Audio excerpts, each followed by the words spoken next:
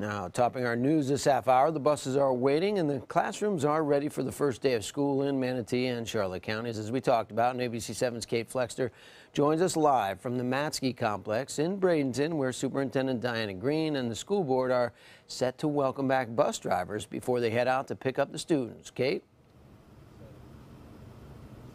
Well, good morning, Don. It's hard to believe that summer is over and it's back to school here in Manatee County, but we're live here at the bus depot where bus drivers are starting to show up. They're heading out to pick up those first students. And if you're wanting to factor that into your morning commute, it's important to keep in mind that school's starting around 7:30 or 8:30, so be sure to take that into account. A lot of buses out there, a lot more cars on the road as well. But there are also a lot of changes coming to Manatee County schools. They've had a few failure grades as well as some growth and mergers in schools. So we'll be sure to talk to Superintendent Diana Greene coming up in the next hour, so stay with us. For now, we're live here in Bradenton. Kate Flexter, ABC 7, your Suncoast News. Thank you, Kate. We look forward to hearing from you a little bit later, along with Dr. Greene, who has guaranteed that there will be no more F grades in Manatee County schools.